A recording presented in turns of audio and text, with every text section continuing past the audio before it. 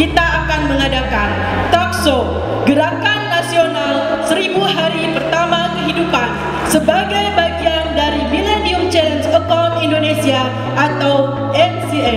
Apa yang telah kita lakukan dalam perbaikan visi dan apa yang akan kita lakukan untuk ke depan.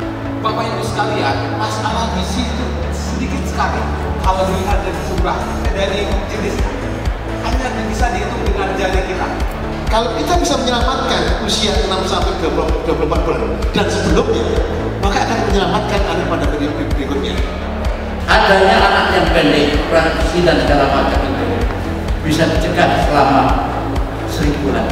Kenapa seribu hari pertama kehidupan mungkin tadi juga sudah banyak disinggung karena itu adalah golden period yang memang itu berdampak terhadap pertumbuhan seorang manusia. Memang masalah gizi bukan urusan kesehatan, namun swastanya. Permasalahannya bagaimana kita bisa mensosialisasikan uh, informasi gizi ini demikian mudah